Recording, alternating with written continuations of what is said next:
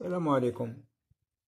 اليوم آه، حنتكلموا على الرئيس تاعنا السيد آه، عبد المجيد تبون الذي مازال يعني في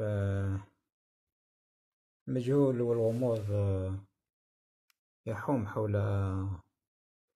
مسألة مرضه. ونتكلم على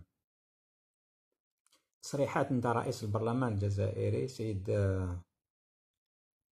سليمان شنين والذي قال بأنه الرئيس في صحة جيدة وأنه سيعود قريبا إلى الجزائر.